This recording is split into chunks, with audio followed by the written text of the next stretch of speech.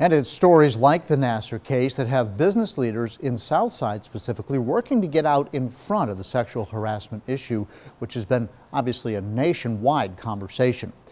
10 News reporter Colter Anstaett spoke to them about the importance of keeping everyone safe in the workplace.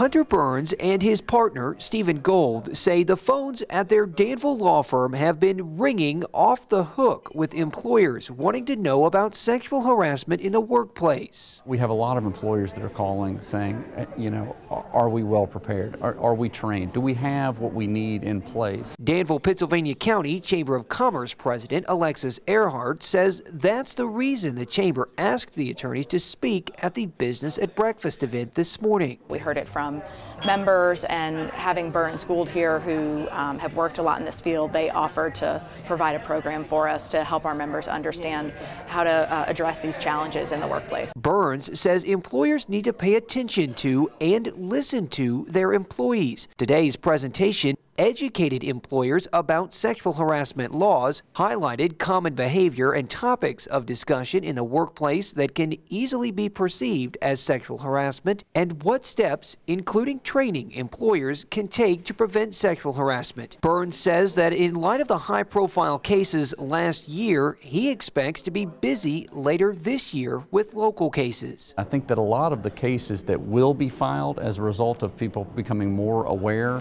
um, uh, we would expect that they'd start getting filed this year. In Danville, Colter Anstaett, 10 News, working for you.